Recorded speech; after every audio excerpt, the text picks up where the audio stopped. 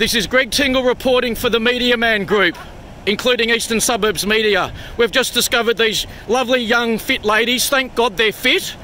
Um, and they've just got a water safety lesson. I'm very glad you're all okay. Um, you're in the beautiful rock pool here at the Secret Beach. Um, when did you start to realise this morning was going to be like so exciting? When you shouted at us. When you saw me signalling, like, move! See? So that's right. So we've got to look after our neighbours, the community spirit. So with my knowledge of the ocean all around my life, and you guys like having eagle eyes, fortunately you heard me. You know, and you saw me, and it, and you quickly got out of there. So that's good. So I'm just glad you're okay. We're very, very grateful. Yeah, very grateful. Well, I'm very grateful for the amazing footage we've got, but I'm also very glad that we got it. And if um, I'm yeah, so it's another little um lesson. So you all look great. Thank God you're all so fit. So you've survived it.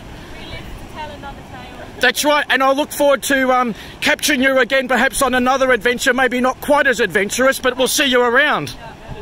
Thanks, ladies. cool.